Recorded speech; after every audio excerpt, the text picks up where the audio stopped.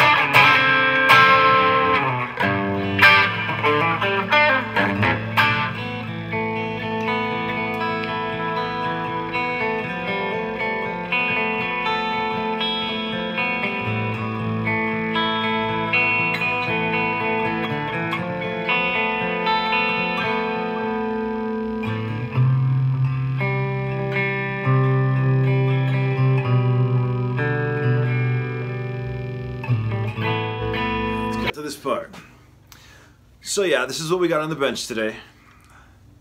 And uh, it just needed a little bit of loving. We went ahead and got that fretboard all taken care of. Rounded those edges a little bit better. Give a nice little crown, polish, all that good stuff.